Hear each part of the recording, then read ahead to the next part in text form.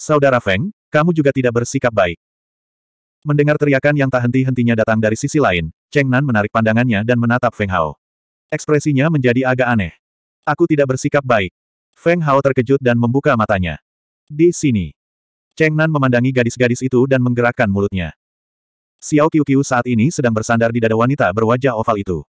Kaki depannya memegang sepotong daging binatang dan dia mengunyahnya dengan gila-gilaan.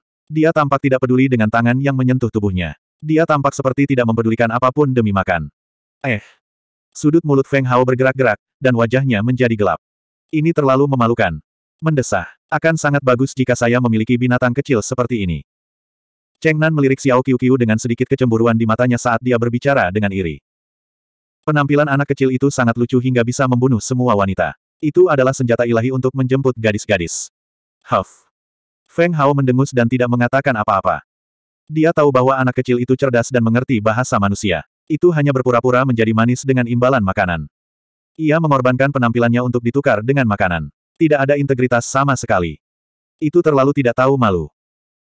Benar saja, setelah suapan terakhir daging ditelan ke dalam perutnya, lelaki kecil itu memutar matanya dan memutar tubuhnya, melarikan diri dari cakar para gadis. Ia membuat wajah dan menjulurkan lidahnya. Dengan sekejap, benda itu meluncur ke kerah Feng Hao dan tidak keluar lagi, menyebabkan gadis-gadis itu sangat kesal. Feng Hao pura-pura tidak melihat tatapan kesal para gadis itu. Dia menutup matanya dan tidur siang. Malam berlalu dengan cepat. Setelah matahari terbit, beberapa dari mereka bangun lebih dulu. Cahaya ungu di mata Feng Hao juga perlahan surut. Meskipun mereka melihatnya, mereka tidak menanyakannya. Bagaimanapun, itu adalah urusan pribadinya. Selanjutnya, rombongan bergegas melanjutkan perjalanan mereka. Namun, tatapan ketiga wanita itu terus mengarah ke arahnya, menyebabkan Feng Hao merasa sangat canggung. Untungnya, Cheng Nan terus-menerus mengobrol di sampingnya, kalau tidak, dia akan memilih untuk berpisah sejak lama. Oh benar, Saudara Feng, aku melihatmu berlatih terbang kemarin. Saat dia berbicara, Cheng Nan tersenyum tipis. Tidak diragukan lagi, budidayanya adalah yang tertinggi di antara sepuluh anak muda. Dia baru berusia 19 tahun dan sudah menjadi leluhur bela diri dengan dua jeroan. Selain itu, dia memiliki fisik atribut api dan telah memurnikan kristal aneh. Orang seperti itu bisa dianggap monster. Iya, Feng Hao mengangguk. Hehe, dari apa yang saya lihat, Anda baru saja maju ke alam martial spirit, bukan?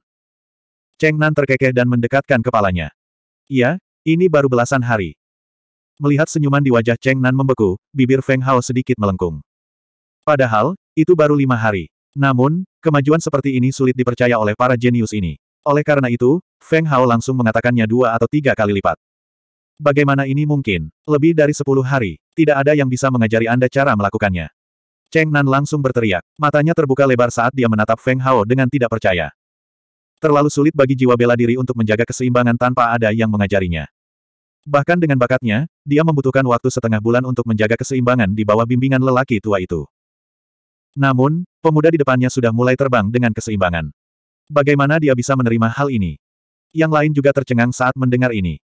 Bagaimanapun, mereka semua adalah orang-orang yang berpengalaman dan memahami betapa sulitnya perjalanan terbang. Seketika, mereka menatap Feng Hao dengan ragu. Hehe. Feng Hao tidak menjelaskan dan hanya tersenyum sedikit. Apakah kamu monster? Cheng Nan berkedip dan tercengang. Tidak, aku harus bersaing denganmu. Dia berhenti. Bersaing, bagaimana? Bibir Feng Hao membentuk senyuman saat dia bertanya. Dia secara alami tahu bahwa Cheng Nan adalah yang terkuat di antara sepuluh orang. Itu sebabnya dia punya ide seperti itu. Dia ingin menguji sejauh mana kekuatannya. Bagaimanapun, Feng Hao pergi ke sana dengan niat untuk menang. Jika dia tidak sekuat seorang jenius dari kerajaan menengah yang maju, dia pasti tidak akan bisa masuk tiga besar. Bagaimanapun, masih ada kerajaan maju yang maju. Dan orang-orang dari dinasti emas juga akan berpartisipasi. Jika tidak ada yang salah, tiga besar akan jatuh ke tangan orang-orang dari dinasti emas.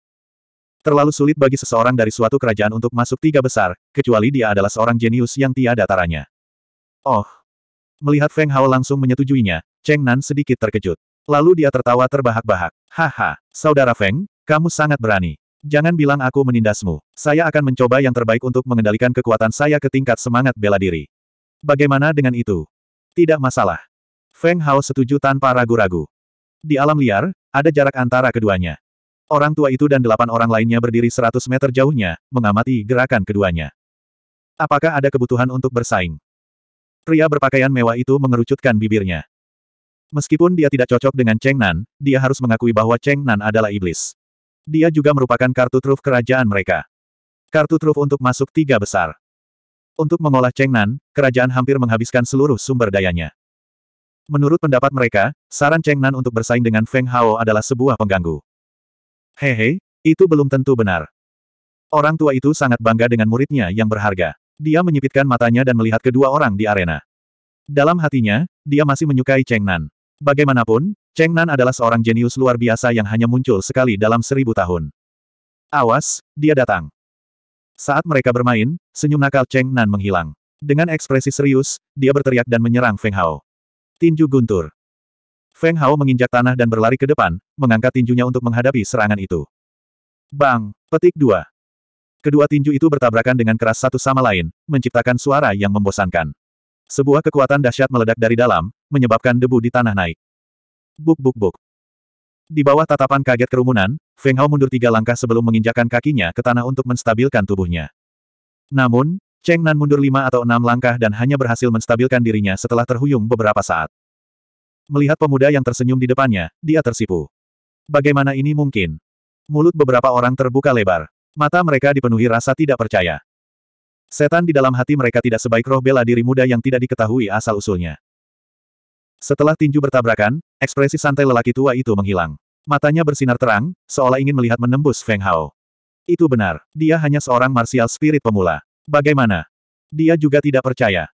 Sebenarnya ada banyak alasan. Pertama, Cheng Nan meremehkan lawannya. Kedua, dia tidak menganggap serius Feng Hao. Kedua, Feng Hao menggunakan teknik bela diri, tetapi dia tidak melakukannya. Inilah alasan mengapa dia membodohi dirinya sendiri. 272. Tidak, aku belum siap sekarang. Wajah Cheng Nan memerah saat dia berteriak. Memang benar dia telah meremehkan lawannya. Faktanya, bahkan jika dia tidak menggunakan keterampilan bela diri apa pun, kekuatannya sudah berada di puncak alam roh bela diri. Namun, ketika dia bertabrakan dengan tinju Feng Hao, dia merasa bahwa kekuatan martial Yuan di tubuh pemuda itu tidak kalah dengan miliknya. Dengan kata lain, pihak lain, roh bela diri, telah menyempurnakan kristal ganjil. Hehe. Feng Hao santai dan tersenyum. Sudut mulutnya melengkung. Mari coba lagi. Oke. Saat kata-kata itu keluar dari mulutnya, aura yang mirip dengan letusan gunung berapi langsung berkumpul di dalam tubuh Cheng Nan.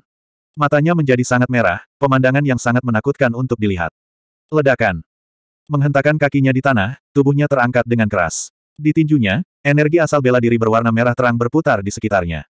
Itu seperti nyala api yang menyala-nyala, dan dengan kekuatan yang menakjubkan, ia menyerang Feng Hao. Dia tidak lagi berani meremehkan pemuda di depannya.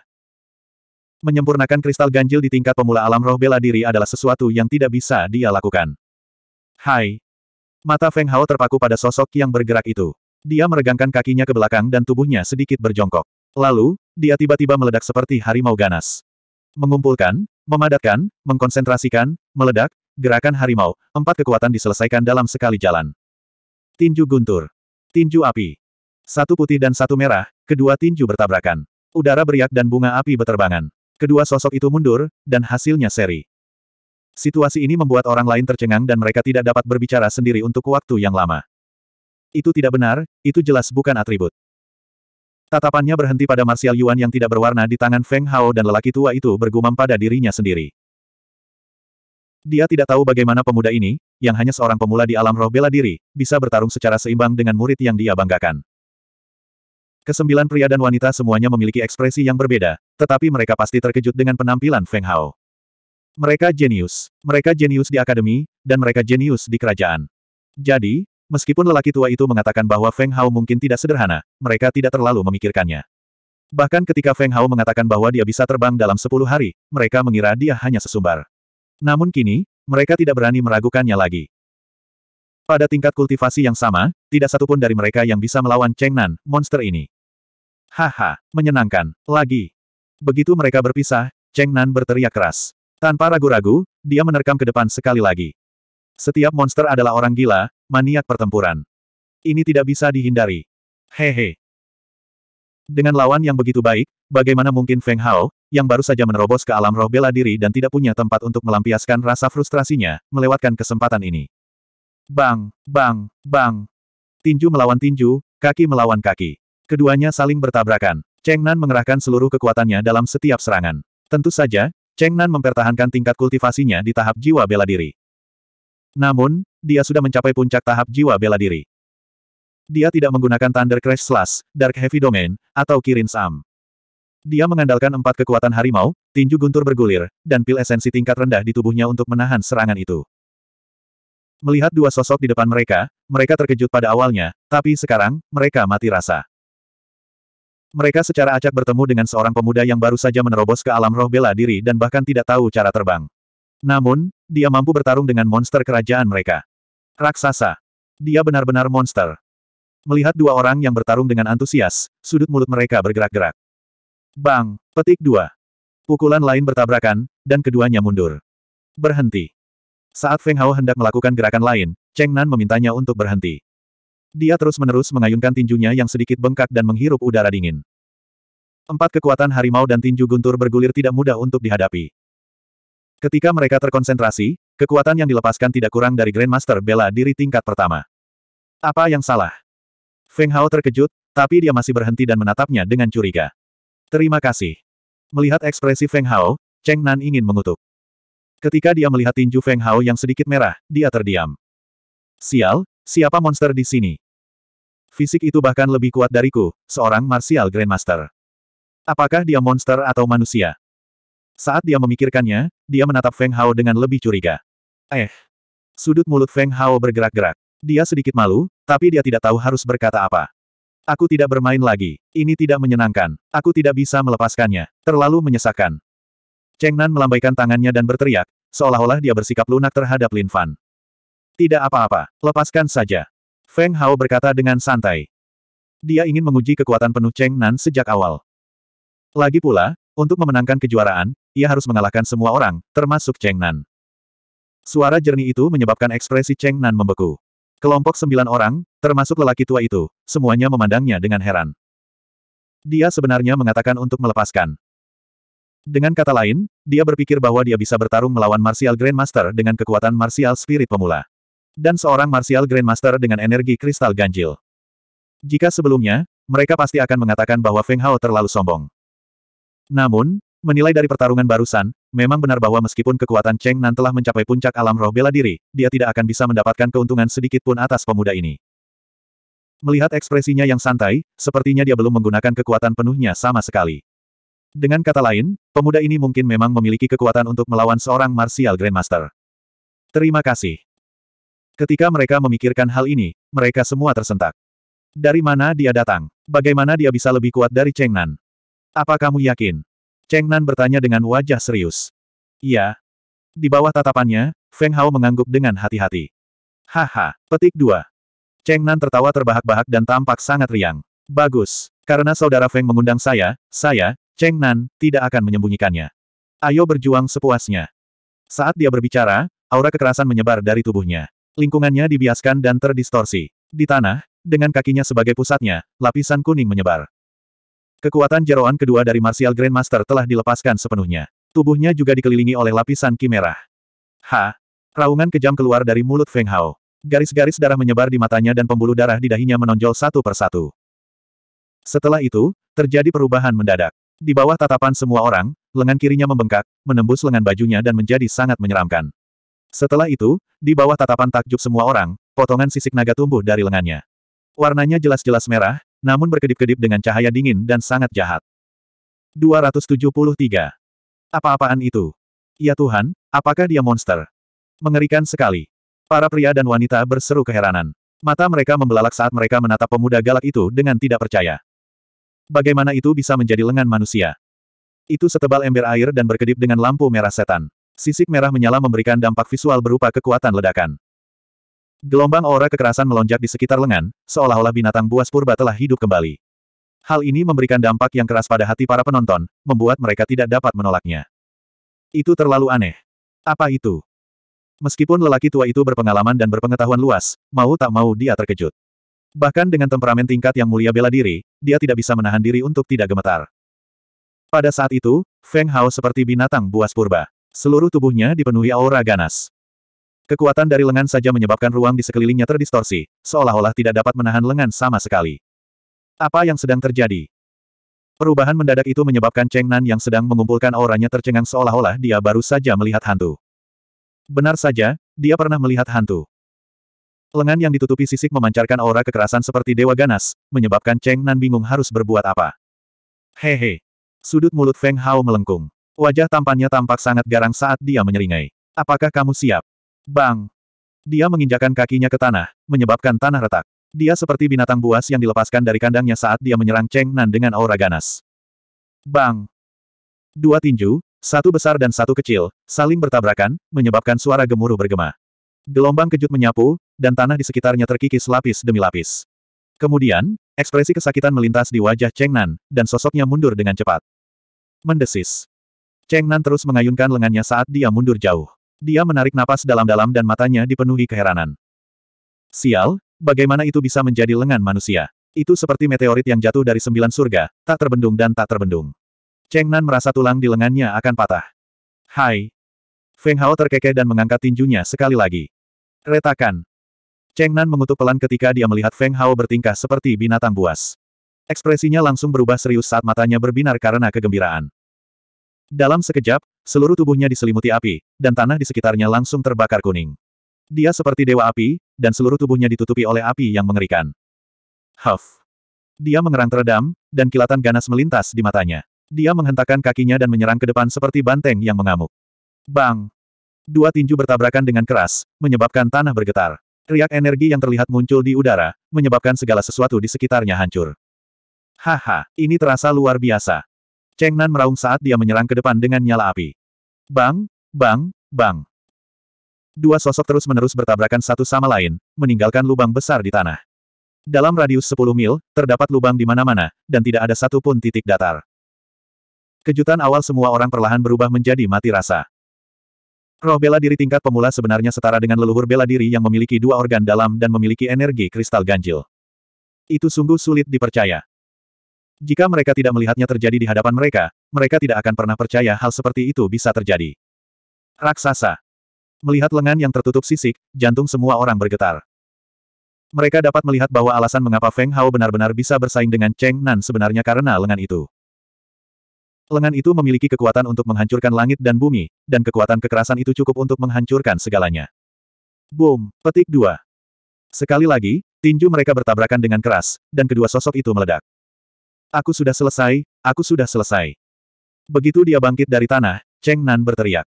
Sialan, ini terlalu membuat frustrasi. Melihat lengan yang seperti monster itu, jantungnya bergetar. Kekuatan itu, kekuatan murni itu, bahkan kekuatan kristal ganjil miliknya tidak dapat melawannya. Setelah berjuang keras, apakah itu fisiknya atau martial spirit, mereka tidak dapat mengimbanginya. Saat dia berbicara, api di tubuhnya mereda, tapi lengannya masih gemetar. Itu menyakitkan. Apa yang salah? Feng Hao menghentikan langkahnya dan menatapnya dengan bingung. Retakan. Mulut Cheng Nan bergerak-gerak dan dia memutar matanya. Kamu monster, aku tidak bisa dibandingkan denganmu. Ini adalah pertama kalinya dia menyebut seseorang monster. Saat dia di akademi, selalu orang lain yang memanggilnya monster. Ha! Feng Hao mengangkat sudut mulutnya, dan sambil berpikir, lengan kilin perlahan menghilang dan kembali normal. Namun jubah ini kembali rusak. Hal ini tidak dapat diselesaikan. Karena karakteristik lengan kilin, sepertinya dia harus menyiapkan lebih banyak jubah untuk dimasukkan ke dalam ring di kemudian hari. Merasa. Cheng Nan terus mengayunkan tangannya dan berjalan menuju Feng Hao. Dia mengelilingi Feng Hao dua kali sebelum berkata, Nak, Apakah kamu benar-benar bukan monster? Eh. Wajah Feng Hao menjadi gelap, sudut mulutnya bergerak-gerak, dan dia mengangkat alisnya. Apakah kamu masih ingin mencoba? Retakan. Ketika dia mendengar ini, Cheng Nan mundur ke jarak tertentu dan memandang Feng Hao dengan ekspresi waspada. Tampaknya kekuatan lengan kilin Feng Hao masih segar dalam ingatannya, dan dia tidak akan pernah bisa melupakannya lagi. Faktanya, Tak satu pun dari mereka menggunakan keterampilan bela diri apa pun, dan itu hanyalah pertarungan kekuatan murni secara langsung. Tentu saja, jika mereka menggunakan keterampilan bela diri, Cheng Nan tidak akan bisa mendapatkan keuntungan apa pun di tangan Feng Hao. Tebasan petir dan domain mendalam yang berat, salah satunya akan memberikan kejutan yang menyenangkan bagi orang-orang. Setelah pertempuran ini, tidak ada lagi yang berani meremehkan Feng Hao. Melihat mereka berdua berbicara dan tertawa, beberapa pasangan tidak mengucapkan sepatah kata pun. Tatapan mereka sangat rumit. Lengan kilin itu terlalu kuat. Hei, lenganmu itu, apa itu? Setelah memikirkannya lama, Cheng Nan mau tidak mau bertanya. Begitu dia mengatakan ini, semua orang langsung melihat ke arah Feng Hao. Ini. Feng Hao sedikit mengernyit, dan sudut mulutnya melengkung menjadi senyuman misterius. Keterampilan rahasia khusus. Keterampilan rahasia. Hati semua orang bergetar. Tentu saja, mereka semua pernah mendengarnya. Kekuatan lengan kilin membuktikan bahwa keterampilan rahasia primordial legendarislah yang memiliki kekuatan tak terduga. Jadi begitu. Cheng Nan mengangguk, dan kilatan cahaya muncul di matanya. Saudara Feng, kamu belum menggunakan kekuatan penuhmu, kan? Hal yang sama berlaku untuk saudara Cheng. Sudut mulut Feng Hao melengkung. Dia terkejut dengan kultivasi Cheng Nan. Di usia yang begitu muda, dia sebenarnya memiliki jeroan kedua dari leluhur bela diri. Selain itu, Feng Hao juga merasa telah menyempurnakan kristal ganjil. Dan sebagai kartu truf dari kerajaan tinggi, mustahil baginya untuk tidak memiliki beberapa kartu truf. Haha, petik 2. Keduanya saling memandang dan tertawa, dan ada rasa saling menghargai satu sama lain. 274. Selama beberapa hari terakhir, Feng Hao dan Cheng Nan bertarung satu sama lain setiap hari. Setiap malam, Cheng Nan akan mengajari Feng Hao beberapa pengetahuan umum dan poin-poin penting yang perlu diperhatikan saat terbang. Setelah beberapa hari, Feng Hao bisa terbang dengan mantap. Namun, kecepatannya tidak cepat. Hal ini menyebabkan orang banyak berseru bahwa dia adalah monster. Namun, Feng Hao sekarang menjadi eksistensi seperti monster di hati mereka. Di bawah langit malam, sesosok tubuh berlari ke sana kemari dengan gesit. Tidak ada jeda dalam gerakannya. Setiap gerakan seperti air mengalir, dan tidak ada yang menemukan kekurangan dalam gerakannya. Fiuh. Menarik sayapnya, Feng Hao mendarat di tanah. Di wajahnya yang lembut dan tampan, ada seulas senyuman cerdas. Memang kalau dia mengandalkan dirinya sendiri, pasti butuh waktu lama. Namun, sekarang dia mendapat bimbingan Cheng Nan, dia bisa menghindari banyak jalan memutar. Hanya dalam beberapa hari, dia kurang lebih sudah memahaminya. Tidak, tidak, kamu tidak bisa melakukannya seperti ini. Cheng Nan berjalan mendekat dengan tusuk daging panggang di tangannya. Kamu terlalu lambat. Dengan kecepatanmu, sebaiknya kamu tidak terbang sama sekali. Eh. Sudut mulut Feng Hao bergerak-gerak. Dia merasa sedikit malu. Saya tahu. Anda pasti berpikir itu karena tingkat kultivasi Anda terlalu rendah, bukan? Kata Cheng Nan dengan senyum misterius di wajahnya. Bukan begitu. Feng Hao sedikit terkejut. Anda salah. Cheng Nan berhenti tersenyum dan memasang ekspresi serius. Tingkat budidaya hanyalah salah satu faktornya. Feng Hao mengerutkan kening dan menatap Cheng Nan tanpa mengucapkan sepatah kata pun. Hehe, caramu terbang itu murni menggunakan kekuatanmu. Itu cara terbang yang paling dangkal. Cheng Nan menjelaskan. Dia duduk dan mengambil beberapa gigitan daging panggang sebelum melanjutkan, metode terbang yang kedua adalah dengan meminjam kekuatan angin untuk terbang. Pinjam kekuatan angin. Feng Hao tercengang. Dia bertanya, bagaimana cara saya meminjamnya? Aku akan meminjamnya seperti ini. Cheng Nan menyeringai sambil menancapkan raja tusuk sate itu ke tanah.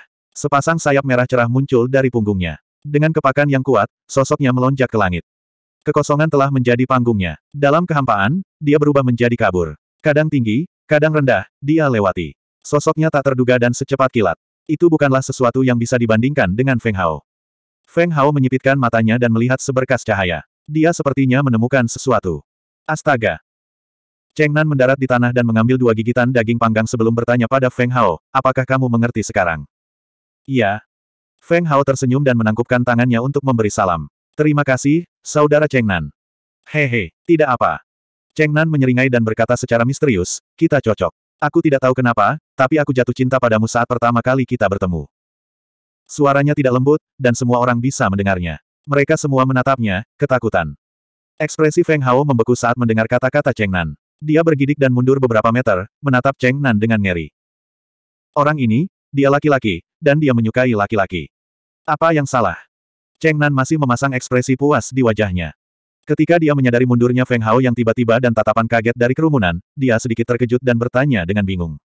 Uhuk-uhuk. Orang tua itu juga merasa malu. Dia terbatuk beberapa kali sebelum menyadari bahwa dia telah mengatakan hal yang salah. Terima kasih. Sudut mulut Cheng Nan bergerak-gerak dan sedikit rasa malu melintas di wajahnya. Dia terlalu tidak sabar dan mengatakan hal yang salah. Hai, jangan salah paham. Ketika saya mengatakan suka, yang saya maksud bukan suka seperti itu. Ini semacam rasa suka antar manusia. Itu adalah perasaan saling tertarik. Ini bukan jenis suka antar lawan jenis, tapi jenis suka antar sesama jenis. Penjelasannya menyebabkan semua orang memandangnya dengan heran. Feng Hao, sebaliknya, merasakan hawa dingin merambat di punggungnya saat dia mundur 10 meter lagi. Orang ini menyukai pria, jenis kelamin yang sama. Para pria memasang ekspresi aneh di wajah mereka, sementara para wanita tenggelam dalam pikirannya. Pantas saja pria ini tidak pernah dekat dengan wanita. Terima kasih. Cheng Nan tahu dia telah mengatakan hal yang salah ketika dia melihat ekspresi orang banyak. Dia langsung menamparkan mulutnya beberapa kali karena rasa sakit yang luar biasa. Tidak mungkin dia bisa membersihkan namanya sekarang. Ya Tuhan, saya tidak bersalah. Dia menengadah ke langit dan menangis panjang. Wajahnya penuh kesedihan dan kemarahan. Setelah kejadian memalukan itu, Feng Hao menjauhkan diri darinya. Begitu dia berada dalam jarak 2 meter darinya, Feng Hao secara alami akan menghindarinya. Hal yang sama berlaku untuk pria lainnya. Setelah satu putaran latihan lagi, meskipun dia masih belum pandai meminjam kekuatan, kecepatannya jelas meningkat. Hal ini membuat Feng Hao sangat puas. Terbang dengan angin hanya bisa dianggap mahir dalam hal itu. Cheng Nan dengan enggan melirik Feng Hao, yang berada beberapa meter darinya, sebelum berbicara. Eh. Feng Hao merasa tidak nyaman ditatap olehnya. Jika bukan karena dia ingin tahu, dia pasti sudah melarikan diri. Tiba-tiba, dia teringat bahwa ketika Penatua Fen mengendalikannya, dia bisa terbang ribuan mil dalam sekejap, seolah-olah dia sedang terbang di udara. Seharusnya tidak sesederhana terbang mengikuti angin. Ada jenis lain, yaitu keterampilan bela diri terbang. Cheng Nan berkata dengan lemah, namun, keterampilan bela diri terbang sangat langka. Pada dasarnya, tidak mungkin mendapatkannya. Keterampilan bela diri terbang. Jantung Feng Hao berdetak kencang dan dia berpikir keras. Memang benar, jika bukan karena Cheng Nan, dia tidak akan tahu tentang keterampilan bela diri terbang. Benar sekali, bahkan seseorang dengan status Cheng Nan tidak mendapatkan keterampilan bela diri terbang. Bisa dibayangkan betapa langkanya keterampilan bela diri terbang. Saudara Feng, apakah kamu akan berpartisipasi dalam kompetisi internasional juga? Berbaring di rumput, Cheng Nan bertanya dengan suara yang dalam. Itu benar. Feng Hao menganggukkan kepalanya dan mengakuinya. Aku tahu itu. Jantung semua orang berdetak kencang. Saudara Feng, apakah kamu dari Kekaisaran? Cheng Nan berbalik dan bertanya. Tidak. Feng Hao menggelengkan kepalanya. Eh. Cheng Nan tertegun dan bertanya, Saudara Feng, apakah kamu juga dari Kekaisaran? Aku ingin tahu kerajaan manakah itu. Dari sudut pandangnya, kerajaan yang bisa memupuk bakat mengerikan seperti Feng Hao jelas bukan kerajaan sederhana. Mungkin saja itu adalah salah satu kerajaan berperingkat tinggi. Kerajaan Silan. Dari mulut Feng Hao muncul nama sebuah kerajaan yang belum pernah mereka dengar. Melihat wajah bingung mereka, Feng Hao menjelaskan, itu hanya kerajaan menengah. Wajar jika Anda belum pernah mendengarnya. Kerajaan menengah. Semua orang terkejut. Bagaimana kerajaan menengah bisa memelihara monster seperti itu? Semua orang tahu bahwa mustahil bagi kerajaan menengah untuk memiliki yang mulia bela diri. Dengan kata lain, seorang leluhur bela diri sudah menjadi yang terkuat di kerajaan menengah. Di kerajaan di mana yang terkuat hanya seorang leluhur bela diri, bagaimana mereka bisa memupuk seorang jenius yang luar biasa? Ini jelas mustahil. Namun, Feng Hao berdiri tepat di depan mereka, dan dia setara dengan monster mereka. 275. Dalam sebuah dinasti, keluarga kerajaan secara alami adalah yang paling berkuasa, dan Gunung Raja Suci adalah yang paling bergengsi. Gunung Raja Suci adalah fondasi terbesar dan kekuatan terkuat dalam sebuah dinasti. Oleh karena itu, mereka yang bisa memasuki Gunung Raja Suci tidak diragukan lagi adalah para jenius dari seluruh dinasti, para elit dari para elit. Di keluarga kerajaan, di bawah Gunung Raja Suci terdapat para pangeran dan adipati dinasti. Mereka semua tinggal di wilayah yang berbeda, dan fondasi mereka tidak bisa dianggap remeh. Di bawah mereka terdapat kerajaan-kerajaan besar. Kerajaan dibagi menjadi empat tingkatan, tinggi, sedang, rendah, dan normal. Selain normal, setiap kelas dibagi lagi menjadi tiga kelas, tinggi, sedang, dan rendah. Hanya ada sepuluh kerajaan maju tingkat tinggi, dan seterusnya. Ada dua puluh kerajaan maju tingkat menengah, empat puluh kerajaan maju tingkat rendah, dan terakhir, ada kerajaan biasa, yang tidak memiliki peringkat apa pun. Dan pembagian kerajaan dan pangkat berasal dari turnamen besar semua kerajaan. Turnamen Akbar Internasional ini dibagi menjadi dua tahap. Tahap pertama adalah kompetisi peringkat antar kerajaan. Orang-orang dinasti tidak akan ikut campur dalam kompetisi ini. Kompetisi pemeringkatan adalah kompetisi antar kerajaan-kerajaan. Aturannya sangat sederhana, setiap kerajaan-kerajaan akan memilih 10 orang dan mendirikan sebuah arena. Semua kerajaan-kerajaan biasa atau yang berperingkat rendah dapat menantang kerajaan-kerajaan yang peringkatnya lebih tinggi dari mereka. Tantangannya adalah pertarungan kelompok, 10 lawan 10.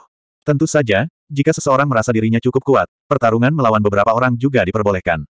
Selama tantangan, satu lawan sepuluh pernah terjadi sebelumnya.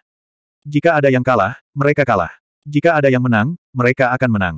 Jika ada yang menang, mereka akan mengambil alih gelar kerajaan dengan pangkat itu. Tentu saja, kerajaan tingkat tinggi tidak akan kesulitan mempertahankan kualitas biasanya karena mereka telah memperoleh banyak sumber daya dari dinasti. Tentu saja, yang mereka harapkan adalah naik ke peringkat yang lebih tinggi. Tahap kedua merupakan acara inti. Di dalam dinasti, siapa pun yang berusia di bawah 30 tahun dapat berpartisipasi, berapapun jumlah orangnya. Tiga teratas akan dipilih untuk memasuki Gunung Raja Suci.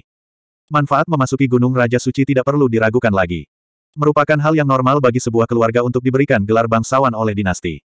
Selama seseorang mencapai alam tertentu, bukan tidak mungkin seseorang bisa menjadi adipati atau pangeran dari lawan jenis. Singkatnya, turnamen besar internasional adalah cara paling langsung untuk mengubah kerajaan dan keluarga. Di hutan belantara, di bawah langit berbintang, tiga api unggun menyala. Mata semua orang tertuju pada pemuda berpakaian biasa. Mungkinkah nasibnya sendiri? Melihat pemuda tampan itu, mereka semua sadar. Memang benar, kekuatan pemuda ini tidak buruk, dan dia mampu melawan Cheng Nan. Namun, tingkat budidayanya sangat rendah, hanya pada tingkat pemula dari jiwa bela diri. Namun, dia memiliki keterampilan rahasia yang tidak dapat dijelaskan, itulah sebabnya dia mampu melepaskan kekuatan binatang buas. Meski begitu, mereka tidak menyangka pemuda ini akan menjadi tandingan Cheng Nan karena Cheng Nan bahkan belum menggunakan kekuatan aslinya. Pelaku kejahatan, itu bukanlah nama yang bisa digunakan tanpa alasan. Kerajaan Kabut Barat sungguh beruntung memiliki seorang jenius seperti Saudara Feng. Cheng Nan tidak bisa menahan diri untuk tidak berseru. Dia juga memahami bahwa meskipun pemuda di hadapannya telah menunjukkan lengan yang mengerikan untuk melawannya, siapa yang dapat mengatakan bahwa dia telah menggunakan seluruh kekuatannya. Dia hanya berada di level pemula dari martial spirit. Dia sebenarnya setara dengan jeroan kedua leluhur bela diri yang memiliki energi kristal aneh. Memikirkan hal ini, hati Cheng Nan tidak bisa tenang. Terlebih lagi, dengan kejeniusan yang luar biasa, kerajaan menengah ini pasti akan bersinar di turnamen kerajaan internasional. Tidak menjadi masalah untuk menjadi kerajaan maju. Itu sebabnya Cheng Nan mengatakan bahwa kerajaan Silan beruntung. Hehe. Feng Hao tersenyum acuh tak acuh dan tidak membantah. Setelah pertempuran dengan Cheng Nan, dia memiliki pemahaman yang lebih jelas tentang sejauh mana kekuatannya. Meskipun dia tidak yakin untuk menang, tidak mudah bagi Cheng Nan untuk mengalahkannya. Terlebih lagi, dia hanya berada di level pemula dari martial spirit sekarang. Selama dia menggunakan kristal bela diri untuk mencapai puncak semangat bela diri sebelum turnamen kerajaan internasional, dia akan lebih percaya diri menghadapi lawan setingkat Cheng Nan. Melihat pemuda yang santai itu, Cheng Nan menghela nafas dalam hatinya. Dia berbaring telentang dan memandangi bintang-bintang di langit. Pandangannya menjadi jauh dan dia bergumam, saya tidak berencana menyembunyikannya dari Anda. Saya mengincar tempat pertama di turnamen. Kata-katanya lembut, tapi Feng Hao bisa mendengar arogansi dalam kata-katanya. Memang benar, dengan tingkat kultivasi seperti itu, ranah juara sebelumnya hanya biasa-biasa saja. Namun, perbedaannya terletak pada skill rahasianya. Feng Hao meliriknya sambil berpikir. Dalam hatinya, dia memahami bahwa monster berusia 19 tahun ini pasti mengalami pertemuan kebetulan dan memperoleh keterampilan rahasia dari era Purbakala Desolate. Selain itu, ini mungkin bukan hal biasa. Tanpa keterampilan rahasia, mustahil baginya untuk mencapai 10 besar. Namun, setelah bertemu denganmu, aku merasa kamu akan menjadi lawan potensial terakhirku. Gumam Cheng Nan. Hehe. Feng Hao berbaring di tanah. Bukankah dia sama? Sebenarnya, kamu hanya salah satu dari mereka. Cheng Nan menoleh. Ada miliaran orang di dinasti emas, dan ada monster dan monster yang tak terhitung jumlahnya. Saudara Feng, bagaimana saya bisa tahu bahwa ada lawan seperti Anda sebelum saya bertemu dengan Anda? Itu benar. Feng Hao mengangguk. Jangan bicara tentang mereka yang tidak tahu apa-apa. Ada beberapa orang yang harus kita perhatikan. Cheng Nan melambaikan tangannya dan berkata, Bayi dari kerajaan Kulan. Rumor mengatakan bahwa ketika bayi lahir, bunga dan pohon di kota tempat dia tinggal semuanya bermutasi. Kemudian dipastikan bahwa dia memiliki fisik atribut kayu bermutu tinggi. Dengan kata lain, roh bela diri di tubuhnya mencapai tingkat kristal ganjil saat lahir. Setelah itu, jalur kultivasinya menjadi lebih lancar. Dia menjadi murid bela diri pada usia 8 tahun, master bela diri pada usia 10 tahun, grandmaster bela diri pada usia 12 tahun, jiwa bela diri pada usia 13 tahun, dan leluhur bela diri pada usia 15 tahun. Ini. Bahkan Feng Hao tidak bisa menahan nafas dalam-dalam. Leluhur bela diri berusia 15 tahun terlalu menakutkan. Dengan fisik seperti itu, akan sangat mudah baginya untuk menjadi martial honorable di masa depan. Setelah itu, tidak ada kabar tentang dia. Saya dengar dia juga memperoleh beberapa peluang. Sekarang, dia sudah berusia 22 tahun. Mengenai tingkat kultivasi spesifiknya, saya tidak tahu. Saya yakin pada usia 20 berusia 2 tahun, dia pasti akan berpartisipasi dalam kompetisi besar tahun ini. Saat dia berbicara, Mata Cheng Nan berkedip dengan cahaya cemerlang saat semangat juang tanpa sadar mengalir keluar. Jelas dia tidak takut. Orang kedua adalah Tong Chong dari kerajaan Yueli. Dia tidak terkenal sebelumnya, tapi beberapa tahun yang lalu, dia sendirian memusnahkan sebuah keluarga dengan lima leluhur bela diri di kerajaan Yueli. Dia tidak meninggalkan satupun orang yang masih hidup. Ini cukup untuk membuktikan bahwa kekuatannya luar biasa. Setelah itu, Cheng Nan melanjutkan membuat daftar beberapa orang. Mereka semua adalah monster hebat dan orang-orang dengan peluang besar, yang membuat Feng Hao mengerutkan kening dalam-dalam. Peserta turnamen besar segala bangsa kali ini nampaknya jauh lebih kuat dari sebelumnya. 276. Benua Tianwu sangat luas dan tidak terbatas. Ada banyak jenius dan jenius iblis yang tak terhitung jumlahnya. Peluang ada di mana-mana. Mendapatkannya berarti mencapai puncak. Cheng Nan menyebutkan tujuh orang. Setelah membandingkannya, Feng Hao menyadari bahwa dia tidak percaya pada salah satu dari mereka. Jika bukan karena lengan kilin dan domain misterius beratnya, dia bahkan tidak akan memenuhi syarat untuk memasuki permainan. Terlalu sombong. Selama ini, Feng Hao berpikir bahwa setelah menyempurnakan kristal ganjil, dia lebih unggul dari yang lain. Setelah mengalahkan Yun Ying, kepercayaan dirinya meningkat hingga dia bisa meremehkan semua orang di dunia. Arogan. Ketika dia mendengar tentang turnamen tersebut, dia memutuskan bahwa dia harus menang. Sungguh, dengan kekuatannya saat itu, apakah dia punya kualifikasi? Arogan. Dia sombong karena dia memiliki kemampuan untuk memurnikan dan memadukan kristal aneh. Arogan. Dia sombong karena dia memiliki Thunder Crash Slash yang sebanding dengan keterampilan bela diri tingkat surga. Tapi ini bukan apa-apa di hadapan para jenius dan jenius iblis ini. Mungkin di masa depan, setelah memurnikan dan menggabungkan puluhan atau ratusan kristal aneh, dia akan memiliki kualifikasi untuk menjadi sombong, tapi sekarang bukan waktunya. Ya, dengan keduanya, dia sudah memiliki kualifikasi untuk mencapai puncak, tapi itu hanya kualifikasinya. Dunia ini besar dan ada banyak hal aneh. Sama seperti orang-orang yang disebutkan Cheng Nan, mereka semua jenius dan bahkan bisa disebut jenius iblis. Dan dia hanyalah salah satu dari mereka. Apalagi langkah kaki mereka sudah mendahuluinya. Tanpa disadari, rasa urgensi yang tak terlukiskan muncul di hati Feng Hao. Dan ini hanya terjadi di sebuah dinasti. Misalnya, keluarga Yan King yang misterius. Keluarga Yan, Feng Hao hampir yakin bahwa mereka pastilah sosok besar, keberadaan tersembunyi. Harus diketahui bahwa atribut petir adalah atribut yang legendaris dan sangat langka. Hanya ada rumor di dunia, tapi belum ada yang pernah melihatnya. Dari sini, dapat dilihat bahwa keluarga yang jelas merupakan eksistensi yang tak terbayangkan, jenis yang bisa memusnahkan dinasti hanya dengan jentikan jari.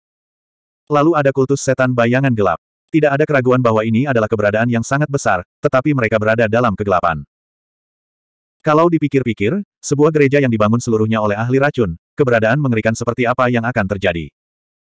Namun, keberadaan seperti itu hanya bisa bertahan dalam kegelapan. Lalu, kekuatan macam apa yang membuatnya tak berani menampakkan wajahnya. Memikirkan hal ini, Feng Hao tidak bisa tetap tenang.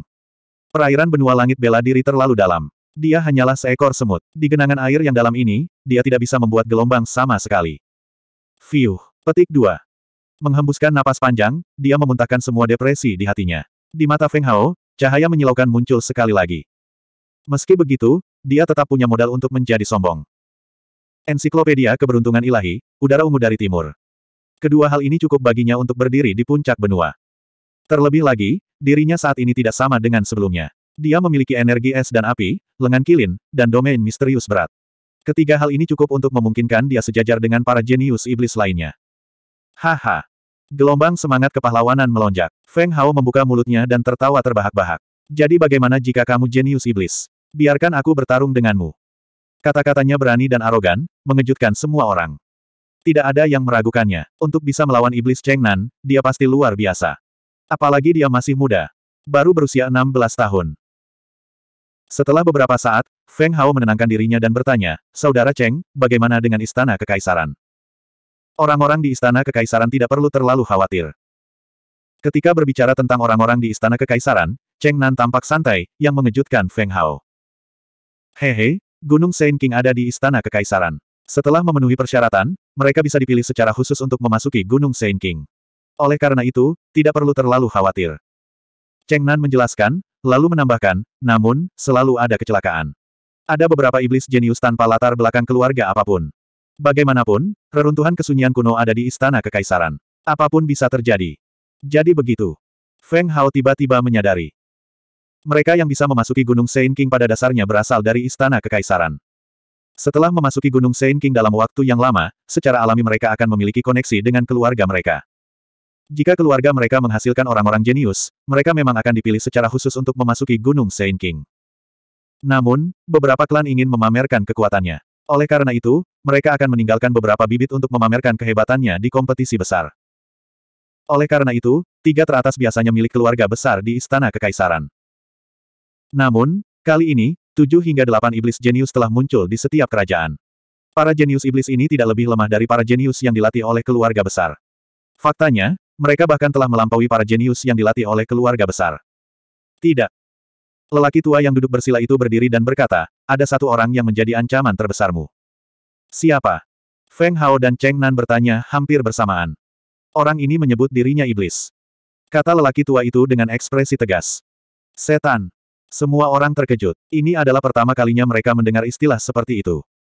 Saya tidak yakin apakah dia akan tampil di kompetisi, jadi saya tidak menyebutkannya. Orang tua itu menjelaskan. Tuan, orang macam apa, iblis ini? Mengapa dia memiliki nama yang sombong? Cheng Nan juga berdiri dan bertanya. Dia iblis. Dia benar-benar iblis. Orang tua itu tampak serius. Dia sepertinya mengingat perbuatan iblis ini ketika emosinya berfluktuasi. Iblis ini awalnya adalah orang tak berguna dari keluarga bergengsi di Istana Kekaisaran. Karena kepentingan keluarganya, keluarganya dimusnahkan oleh beberapa keluarga lain ketika dia berusia 15 tahun. Dialah satu-satunya yang berhasil melarikan diri. Itu bukan masalah besar bagi orang tak berguna untuk melarikan diri, tapi setelah bersembunyi selama 10 tahun, dia muncul kembali tahun lalu. Saat dia berbicara, lelaki tua itu tampak sedikit bersemangat. Selama 10 tahun dia dalam pelarian, dia benar-benar mempelajari serangkaian teknik racun entah dari mana dan meracuni hampir semua kekuatan yang bergabung untuk memusnahkan keluarganya sampai mati. Apa? Seorang ahli racun? Sepuluh pria dan wanita berseru kaget. Hanya Feng Hao yang sedikit terkejut saat sedikit kejutan muncul di matanya. Seorang ahli racun hampir berakibat fatal bagi orang lain, tetapi baginya. Dia percaya bahwa hampir tidak ada racun di dunia ini yang tidak dapat disembuhkan oleh kitab persenjataan ilahi. Itu benar. Terlebih lagi, dia harus menjadi ahli racun tingkat bumi. Di bawah tatapan kaget mereka, lelaki tua itu mengungkapkan berita mengejutkan lainnya. Terima kasih. Wajah Cheng Nan berkedut saat dia pada akhirnya mengumpat dengan marah. Apakah ini penipuan? Siapa yang mampu melawan orang seperti itu? Mungkinkah ada apoteker tingkat bumi yang akan berpartisipasi dalam kompetisi? Dia sombong dan percaya diri dengan bakat dan kekuatannya. Namun, dia takut untuk melawan ahli racun. 277. Ahli racun adalah eksistensi yang ditakuti oleh semua orang. Jadi, ketika lelaki tua itu menyebutkan bahwa iblis itu adalah ahli racun tingkat bumi, tidak ada yang berani mengatakan sepatah kata pun. Bahkan seseorang yang sombong seperti Cheng Nan tidak berani membantah perkataan lelaki tua itu. Ahli racun, dua kata ini saja sudah cukup untuk menghancurkan harga diri ribuan ahli. Di depan ahli racun, tidak ada yang bisa berdiri tegak kecuali apoteker. Oleh karena itu, karena ketakutan terhadap ahli racun, identitas apoteker terus dicari. Akibatnya, identitas apoteker berpangkat tinggi menjadi begitu mulia hingga sedikit tidak normal. Tuan, apakah iblis ini benar-benar pergi? Cheng Nan bertanya dengan muram dengan ekspresi pahit. Dia yakin bahwa dia bisa melawan para jenius dan penjahat terkenal itu. Namun, membayangkan menghadapi makhluk beracun membuat tulang punggungnya merinding. Dia tidak bisa mengerahkan kekuatan apa pun untuk melawan. Jika dia benar-benar menghadapi musuh seperti itu, dia tidak punya pilihan lain selain melarikan diri. Ini. Orang tua itu mengerutkan kening. Setelah beberapa saat, dia menggelengkan kepalanya. Iblis itu selalu sulit ditangkap. Tidak ada yang tahu apa yang dia lakukan. Tidak ada yang tahu apakah dia akan pergi ke kompetisi atau tidak. Namun, dia sudah berusia 26 tahun. Jika dia tidak pergi, dia menang. Tidak punya kesempatan lagi. Setelah mendengar perkataan lelaki tua itu, hati Cheng Nan menjadi dingin, dan wajahnya menunduk. Dia penuh ambisi, tapi sekarang dia harus menghadapi makhluk beracun. Dia tidak bersedia menerima hal ini. Hehe. Feng Hao masih memasang ekspresi santai di wajahnya. Selain beberapa orang yang disebutkan Cheng Nan, dia benar-benar mengabaikan apa yang disebut iblis ini. Hei, kenapa kamu tidak takut? Mendengar tawanya, Cheng Nan berbalik dan bertanya dengan tidak sabar. Apa yang bisa kulakukan jika aku takut? Feng Hao bertanya balik dan menatapnya sambil tersenyum. Jika dia beruntung dan beberapa monster ini dibunuh oleh iblis, itu bagus. Dengan pemikiran itu, dia merasa lebih bangga. Iblis, kamu harus datang. Dia sangat menantikan untuk bertemu dengan orang yang menyebut dirinya iblis. Bagaimanapun, status mereka sangat mirip. Mereka berdua jenius biasa-biasa saja yang terlahir sebagai sampah, tidak seperti monster yang terlahir dengan gelar jenius. Oleh karena itu, mereka tidak mengerti berapa banyak usaha yang diperlukan untuk menjadi seorang jenius dari yang biasa-biasa saja. Klannya hancur, dan dia adalah orang yang biasa-biasa saja. Bisa dibayangkan betapa putus asanya dia, bukan? Tuan Racun, apakah dia bergabung dengan Sekte Setan Bayangan Gelap? Memikirkan hal ini, mulut Feng Hao melengkung menjadi busur setan. Seorang wanita mempesona muncul di benaknya. King Wu, wanita pertamanya. Tidak cukup kuat. Feng Hao tersenyum canggung, tapi matanya dipenuhi tekad. Meskipun hubungan mereka tidak mendalam, bagaimanapun juga, dia telah memberikannya untuk pertama kalinya, dan sampai batas tertentu, dia telah menyelamatkan hidupnya. Feng Hao tidak nyaman meninggalkan wanitanya di sekte setan bayangan gelap.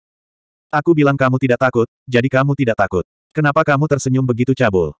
Cheng Nan bingung. Orang itu terus melihat ke langit, dan mengapa senyuman di wajahnya begitu aneh. Eh, ehem. Feng Hao tercengang. Ketika dia sadar kembali, dia terbatuk dan tersenyum canggung, tetapi dia tidak menjelaskan apa pun. Lupakan saja, karena iblis ini ingin pergi, aku akan membiarkan dia mendapat tempat pertama. Cheng Nan sangat murah hati. Dia melambaikan tangannya dan memberikan tempat pertama. Heh. Feng Hao mengerutkan bibir dan memutar matanya, mengabaikan orang yang tidak tahu malu ini. Hehe. Cheng Nan pada dasarnya adalah orang yang bahagia dan beruntung. Dia bertindak seolah-olah tidak terjadi apa-apa sambil terkekeh dan bertindak seolah-olah tidak terjadi apa-apa. Meski sempat terjadi kecelakaan, namun posisi tiga besar sudah cukup baik. Tiga tempat memang tidak banyak, tapi dia yakin bisa mendapatkannya. Malam berlalu dalam sekejap mata. Pada hari-hari berikutnya, mereka berjalan lebih lambat. Untungnya, mereka punya cukup waktu, jadi mereka tidak terburu-buru. Keduanya bertarung lebih keras lagi. Jika mereka tidak berlatih selama empat jam setiap hari, tulang mereka akan terasa gatal. Cheng Nan, khususnya, menderita di bawah lengan kilin Feng Hao, tapi dia tidak mundur sama sekali. Sebaliknya, dia menjadi semakin berani seiring berjalannya pertarungan. Dia adalah seorang iblis jenius. Dia hampir terobsesi dengan kultivasi, dan dia tidak pernah menyerah. Itulah sebabnya dia memiliki kultivasi yang dia miliki saat ini. Alhasil, kejadian yang sama terjadi setiap hari. Seorang pria terbakar dan seorang pria muda dengan lengan mengerikan penuh sisik, keduanya terus bertabrakan seperti banteng yang mengamuk. Kemudian, mereka bertabrakan lagi dan lagi. Sedangkan yang lainnya, mereka sudah terbiasa. Mereka benar-benar mengabaikan dua orang yang mirip monster itu dan bermeditasi atau berdebat satu sama lain. Tentu saja yang dilakukan ketiga wanita itu berbeda. Mereka sedang memegang daging panggang dan menggoda seekor binatang kecil yang rakus. Selama masih ada makanan, tidak peduli berapa banyak tangan yang menggosok tubuhnya. Itu telah mencapai level tertinggi sebagai pecinta kuliner. Ia bisa melakukan apa saja untuk mendapatkan makanan. Namun, orang ini sangat tidak berperasaan. Selama dia selesai makan dagingnya, dia akan segera pergi. Tidak ada yang bisa menghentikannya. Kecepatannya mengejutkan penonton. Orang tua itu bertanya-tanya apakah itu benar-benar binatang iblis. Itu lebih cepat dari leluhur seni bela diri. Yang paling mengejutkan orang tua itu adalah kecerdasannya. Itu lebih pintar dari manusia. Ini adalah sesuatu yang tidak bisa dilakukan oleh binatang iblis biasa. Pemuda ini punya banyak rahasia. Orang tua itu menyipitkan matanya saat dia melihat ke arah pemuda yang setara dengan muridnya yang sombong. Anak nakal ini, keberuntungan berpihak pada orang bodoh. Sudut mulut lelaki tua itu membentuk senyuman ketika dia melihat Cheng Nan membuat keributan lagi. Sejak Feng Hao mengungkapkan lengan kilinnya, dia tahu bahwa pemuda ini akan menjadi orang penting di masa depan.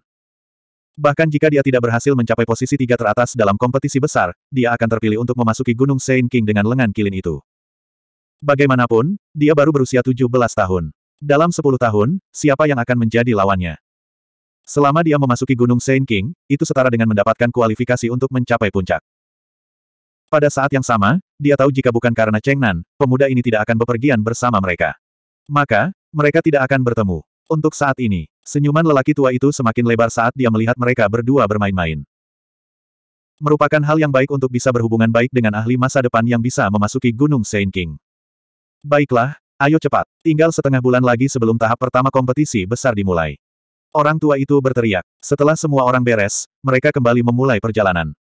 Dekan dan yang lainnya seharusnya sudah tiba. Melihat ke Cakrawala, Feng Hao bergumam dan mengikuti mereka. 278. Waktu berlalu dengan cepat. Selama beberapa hari terakhir, kelompok itu bergegas melanjutkan perjalanan mereka. Mereka hanya berhenti beberapa jam di malam hari. Tentu saja duel harian antara Cheng Nan dan Feng Hao tidak dibatalkan. Orang tua itu tidak keberatan dengan hal ini. Jarang sekali menemukan lawan yang setara dengannya. Namun, waktunya dipersingkat. Apalagi mereka hanya bisa berdebat selama dua jam sehari. Meski begitu, keduanya mendapat manfaat besar darinya. Meskipun mereka bergegas, Feng Hao tidak berhenti menyerap energi kristal bela diri. Dia perlu mengisi wilayah kekuasaannya. Semakin tinggi wilayahnya, semakin kuat pula serangan gunturnya. Dia tidak khawatir dia tidak bisa menahannya. Lengan kilin bisa menutupi kelemahan ini. Setelah sebulan, dia telah menyempurnakan lebih dari 200 kristal bela diri, dan dia telah mencapai batas roh bela diri tingkat menengah. Selain itu, dia menjadikan Cheng Nan sebagai lawannya setiap hari, jadi dia tidak takut dengan efek negatif dari naik level dengan cepat. Peningkatan pesat seperti ini membuat Feng Hao sangat senang. Sungguh keren memiliki kristal bela diri. Ini semua berkat Xiao Qiu Qiu. Kalau tidak, dengan Ki Ungu setengah matang dari timur, dia akan kelelahan sampai mati jika dia ingin mendapatkan ribuan kristal bela diri. Setelah bimbingan Cheng Nan, kemampuan terbang Feng Hao telah meningkat pesat. Jika bukan karena perbedaan alam, tidak akan menjadi masalah baginya untuk mencapai kecepatan Cheng Nan. Namun, sudah beberapa bulan sejak Penatua Fen tertidur lelap. Orang tua itu tidak menunjukkan tanda-tanda akan bangun. Hal ini membuat Feng Hao sedikit sedih. Dia ingin membantu, tapi dia tidak tahu harus mulai dari mana. Dia hanya bisa berharap lelaki tua itu akan bangun dengan sendirinya. Ledakan. Kedua banteng yang mengamuk itu bertabrakan lagi. Kemudian, dua sosok dikirim terbang. Mereka mendarat jauh dan tertutup debu. Baiklah, anggap saja ini sehari. Ayo lanjutkan perjalanan kita. Orang tua itu mengingatkan mereka ketika dia melihat matahari yang tergantung tinggi di langit. Baiklah. Cheng Nan melompat, menepuk-nepuk debu di tubuhnya, dan menyeringai. Setelah berjalan sekitar satu jam. Ada yang salah. Mengapa saya merasa ada sesuatu yang salah? Setelah berjalan beberapa saat, Cheng Nan tiba-tiba berhenti dengan ekspresi konflik. Apa yang salah? Semua orang memandangnya. Oh benar. Melihat ke kiri dan ke kanan, Cheng Nan bertepuk tangan. Ke mana Feng Hao pergi? Satu jam kemudian, dia akhirnya muncul. Sepertinya ada satu orang yang hilang. Hanya setelah pengingatnya, semua orang menyadari bahwa Feng Hao memang telah menghilang. Jangan bilang padaku bahwa anak itu tersingkir olehku. Cheng Nan membuka mulutnya lebar-lebar dan bertanya dengan heran. Hehe, mengapa anak itu begitu lemah hari ini? Saat dia berbalik, dia melihat sosok berbaju hijau bergegas dari belakang. Nak, apakah aku benar-benar membuatmu pingsan? Setelah mengelilingi Feng Hao dua kali, Cheng Nan bertanya sambil tersenyum nakal. Dia berhasil menerobos. Mata lelaki tua itu bersinar terang saat dia melirik Feng Hao. Kata-katanya menyebabkan senyuman di wajah Cheng Nan membeku. Sebuah terobosan. Iya. Di bawah tatapannya yang heran, Feng Hao tersenyum dan mengangguk dengan acuh tak acuh. Monster yang luar biasa. Pikiran yang sama muncul di benak sepuluh pemuda dan pemudi. Mereka hanya bisa menghela nafas dalam hati. Orang ini benar-benar menantang surga. Ini baru sebulan lebih sedikit. Dalam waktu kurang dari dua bulan, dia telah menembus ke level berikutnya. Kecepatannya adalah sesuatu yang hanya bisa mereka hormati. Tentu saja, jika mereka memiliki fisik dan kristal bela diri, mereka juga bisa melakukannya. Namun, martial kristal sangat berharga. Biasanya hanya digunakan untuk kebutuhan yang tidak terduga saat melakukan terobosan. Menggunakannya untuk menambah jumlah martial origin terlalu boros. Untungnya, Feng Hao sudah cukup mengejutkan mereka. Setelah beberapa saat, mereka kembali normal dan rombongan melanjutkan perjalanan. Lagi pula, hanya ada waktu kurang dari seminggu hingga kompetisi besar internasional. Tidak ada waktu untuk disia-siakan. Beberapa hari kemudian, jumlah orang di jalan bertambah. Kebanyakan dipimpin oleh seorang lelaki tua, disusul sekelompok anak muda. Hanya sedikit dari mereka yang sendirian. Tentunya sebagian besar dari mereka hadir di sana untuk kompetisi akbar internasional. Sekalipun mereka tidak bisa berpartisipasi, tetaplah baik menjadi penonton. Toh, kompetisi akbar internasional hanya diadakan setiap 10 tahun sekali. Apalagi pesertanya semuanya jenius dari berbagai negara. Kompetisi akbar seperti itu tentu saja tidak boleh dilewatkan. Empat hari kemudian, sebuah bangunan besar muncul di depan orang banyak. Tembok kota yang menjulang tinggi, di bawah sinar matahari yang terik, memantulkan cahaya dingin, memberikan dampak visual yang tidak bisa dihancurkan. Hah? Dalam sekejap, Feng Hao bisa mendengar suara nafas yang datang dari sekelilingnya. Pemandangan di depannya memberinya ilusi bahwa dia tercekik. Napasnya, secara sembunyi-sembunyi, juga menjadi tergesa-gesa. Kota kekaisaran di depannya jauh lebih besar daripada kota di reruntuhan kuno yang sunyi dalam hal ukuran dan cakupan. Tembok kota di depannya terbentang sejauh mata memandang, seolah terhubung dengan langit. Tak sulit membayangkan lahan seluas itu bisa menampung jutaan orang tanpa tekanan apa pun. Ayo pergi. Suara dingin lelaki tua itu terdengar di telinga mereka, membangunkan mereka. Di bawah pimpinan lelaki tua itu, mereka berjalan menuju kota kekaisaran yang megah. Di gerbang kota, ada 20 tentara berbaju besi dingin berdiri di kedua sisi. Aura mereka kuat dan mata mereka berkedip-kedip. Sekali melihat dan siapa pun akan tahu bahwa kekuatan mereka tidak biasa. Menggunakan Wuling sebagai penjaga. Sudut mulut Feng Hao bergerak-gerak. Untungnya, dia sudah terbiasa dengan relik kuno yang sunyi, jadi dia tidak mengatakan apa pun dan langsung masuk. Setelah melewati lorong gelap gulita sekitar 100 meter, Feng Hao menyipitkan matanya saat melihat cahaya putih. Di depannya, pemandangan ramai muncul. Kerumunan itu seperti semut yang berjalan di jalan lebar. Suaranya seperti guntur yang menggelegar, mengejutkan pikiran seseorang. Begitu dia keluar, Feng Hao merasakan suara mendengung di telinganya. Dia hanya merasa lebih baik ketika dia menggunakan energi bela diri untuk menutup telinganya. Begitulah kota-kota besar. Hah? Setelah menarik napas dalam-dalam, dia berbalik dan berkata kepada Cheng Nan, Saudara Cheng, aku akan pergi sekarang. Mem. Wajah Cheng Nan berubah serius, hal yang jarang terjadi padanya. Saudara Feng, saya berharap dapat bertemu Anda di kompetisi. Jangan khawatir. Feng Hao tersenyum percaya diri. Hehe, saya yakin Anda mampu. Cheng Nan menyeringai dan mengulurkan tangannya untuk menepuk bahu Feng Hao, tapi Feng Hao menghindarinya. Feng Hao tidak lupa bahwa pria ini memiliki cinta yang istimewa. Melihat ekspresi hati-hati Feng Hao, Cheng Nan menamparkan keningnya, merasa sangat malu hingga ingin mati. Haha. Melihat ekspresi malu Cheng Nan, kerumunan orang tertawa. Ini pantas mendapatkannya. Semuanya, aku akan pergi dulu. Setelah beberapa saat, Feng Hao menarik senyumnya dan menangkupkan tinjunya ke arah kerumunan, sebelum menghilang ke dalam kerumunan. Ayo pergi. Orang tua itu menyipitkan matanya dan memanggil dengan lembut, sebelum mengarahkannya ke arah lain. 279. Di halaman yang agak kecil, meski tidak terlalu mewah, namun bersih dan rapi. Di aula, ada sepuluh orang yang duduk. Yang duduk di kursi itu adalah Hua Yunlong, dan sembilan orang lainnya, termasuk Yun Ying, juga ada di antara mereka. Selain itu juga ada dua orang gadis yaitu Wan Xin dan Joan of Arc. Melihat penampilan kedua gadis itu, mereka jauh lebih cantik dibandingkan dua tahun lalu. Yang satu tenang dan anggun, sedangkan yang lainnya cantik nasional. Keduanya memiliki keindahan untuk menggulingkan negara. Meski kedua gadis itu duduk di sana, ada kegembiraan yang tak terselubung di mata mereka yang berair. Dari waktu ke waktu, mereka akan melihat keluar pintu seolah sedang menunggu seseorang. Ketiga gadis itu semuanya wanita cantik, tetapi beberapa pemuda bahkan tidak berani melihat mereka. Tidak perlu membicarakan Yun Ying. Dia adalah seorang wanita es, tetapi Wan Xin dan Qiong Linger memiliki identitas khusus. Sekarang, hampir semua orang di West Miss Nation tahu bahwa kedua wanita cantik ini sudah memiliki seseorang di hati mereka. Feng Hao Nama ini mengejutkan seluruh silang. Dapat dikatakan bahwa di silang saat ini, selain keluarga kerajaan, keluarga yang paling berkuasa adalah keluarga Feng. Tidak ada yang berani memprovokasi mereka. Marsekal, pangeran, orang kaya, dan apoteker nomor satu semuanya sering menjadi tamu di kediaman Feng. Siapa pun yang memprovokasi mereka akan mendekati kematian. Uhuk-uhuk. Meletakkan cangkir teh di tangannya, Hua Yunlong terbatuk dua kali untuk menarik perhatian semua orang. Dalam lima hari, tahap pertama turnamen akan dimulai. Saat dia mengatakan itu, dia sedikit mengernyit. Meskipun sepuluh orang sebelum dia tidak lemah, terutama Qiong Linger yang menjadi terkenal di kemudian hari, untuk beberapa alasan, meskipun asal bela diri miliknya tidak memiliki atribut, kemurniannya sangat tinggi. Setelah dia menerobos ke alam roh bela diri, asal bela diri miliknya telah mencapai tingkat tinggi yang mengerikan. Ini sudah sebanding dengan kekuatan kristal aneh. Karena alasan ini, Hua Yunlong membuka-buka buku kuno tetapi tidak menemukan preseden seperti itu. Pada akhirnya, dia hanya bisa menyerah. Hanya dengan maju, dia bisa meningkatkan kemurnian energi bela diri. Ini adalah satu lagi preseden. Di antara mereka, Yun Ying dan pria berusia 28 tahun lainnya telah menerobos ke alam marsial leluhur. Tim seperti ini pasti bisa mempertahankan peringkatnya, tetapi akan terlalu sulit untuk menaikkan peringkatnya. Apalagi, bisa masuk ribuan besar atau tidak bergantung pada keberuntungan. Harapan utamanya masih tertuju pada Yun Ying. Bagaimanapun, atribut es adalah atribut langka, dan lebih kuat dari lima atribut dasar.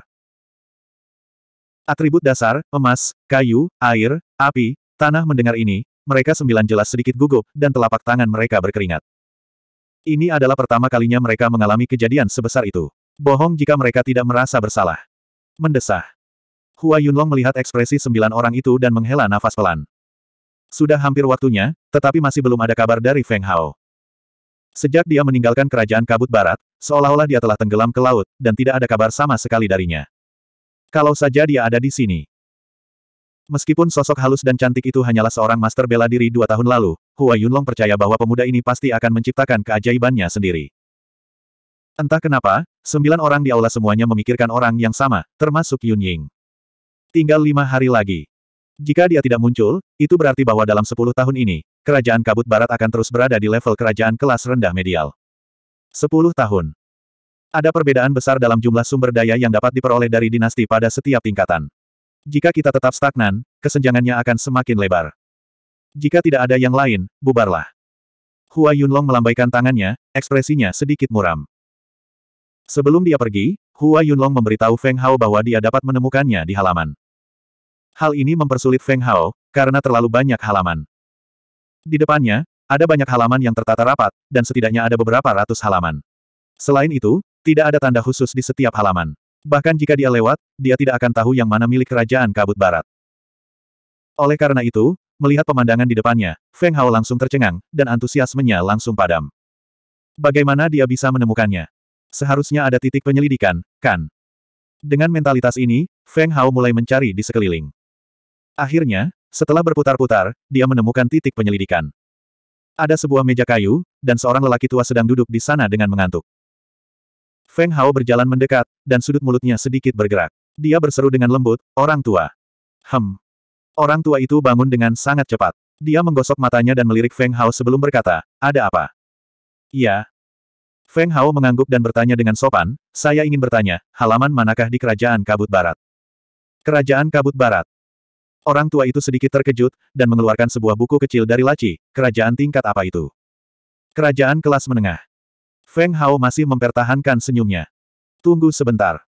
Setelah mengatakan itu, lelaki tua itu membuka-buka buku itu, mencarinya satu persatu.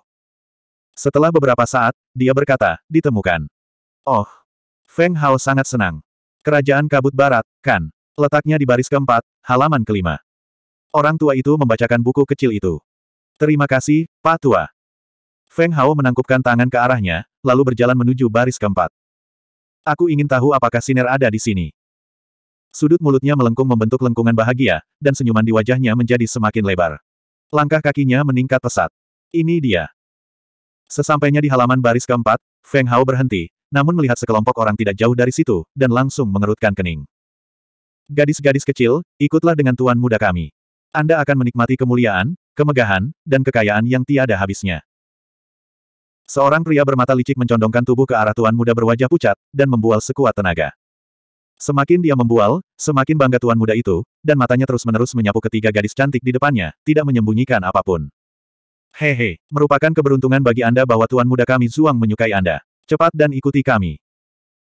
Para pelayan di samping tuan muda berwajah pucat semuanya mulai mengejek, menyebabkan wajah cantik ketiga gadis itu menjadi pucat, dan mereka semua dengan marah memelototi sekelompok orang ini. Kalian pergilah, kami tidak peduli. Wajah cantik Wan Xin menjadi kaku, dan dia memarahi. Haha, petik dua. Tegurannya menyebabkan ledakan tawa. Apa yang sedang terjadi?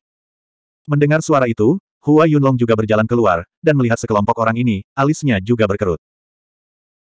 Kelompok orang di depannya ini, jelas bukan orang biasa, dan kemungkinan besar mereka adalah keturunan dari keluarga besar di kota kekaisaran. Orang tua, kamu keluar pada waktu yang tepat, ketiga gadis ini berasal dari kerajaanmu, kan? Melihat Hua Yunlong, bukan saja mereka tidak takut, mereka langsung bersikap superior, dan nada bicara mereka membuat Hua Yunlong semakin cemberut. 280. Sekilas, Feng Hao melihat dua sosok yang dikenalnya. Setelah tidak bertemu mereka selama dua tahun, mereka menjadi semakin cantik. Mereka tampak tidak terlalu dewasa dan lebih dewasa. Yang satu halus dan lembut seperti air. Kecantikannya bisa menjatuhkan suatu bangsa dan menyebabkan seseorang tenggelam ke dalamnya hanya dengan sekali pandang, tidak mampu melepaskan diri darinya. Yang satu segar dan alami, murni dan mengejutkan. Kelembutannya saat menundukkan kepalanya seperti teratai air yang tidak tahan terhadap angin dingin. Cintanya yang dalam bagaikan teratai merah yang mekar di tanah bersalju. Ketika kedua wanita ini berdiri bersama, semua bunga akan kehilangan warnanya dan semua makhluk hidup akan malu melihatnya. Benar-benar sepasang orang dari dunia lain. Kedua gadis ini. Melihat sekelompok orang yang berpakaian luar biasa, Feng Hao menggelengkan kepalanya tanpa daya. Dia tahu kalau penampilan kedua gadis ini pasti menimbulkan masalah lagi. Heh. Sambil terkekeh, sudut bibirnya melengkung menjadi senyuman kejam. Matanya menjadi dingin saat dia berjalan mendekat. Di dalam kota kekaisaran, jumlah bangsawan sama banyaknya dengan rambut sapi. Jika seseorang ingin membangun pijakan di kota kekaisaran, keluarga tersebut harus memiliki ahli bela diri yang terhormat. Ini adalah kualifikasi untuk memasuki kota. Oleh karena itu, ketika melihat sikap orang-orang ini, Hua Yunlong mempunyai firasat buruk di hatinya. Bagaimana kerajaan kabut barat mampu menyinggung para bangsawan dinasti emas yang gemilang.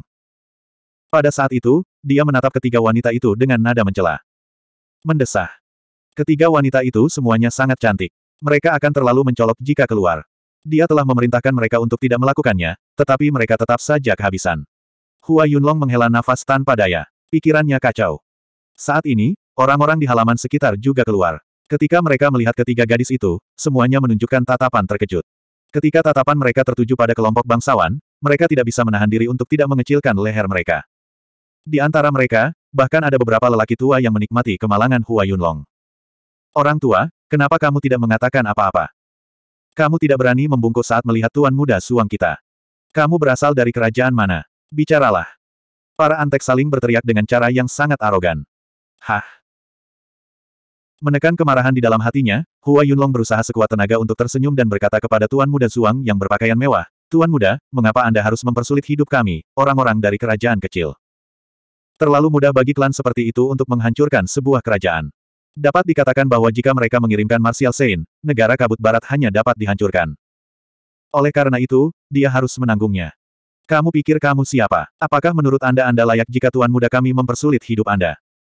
Cepatlah, Tuan muda kami menyukai mereka bertiga. Ini adalah kekayaan yang telah mereka kumpulkan selama beberapa masa kehidupan. Jika kamu berlama-lama lagi, kami akan menghancurkan seluruh kerajaanmu.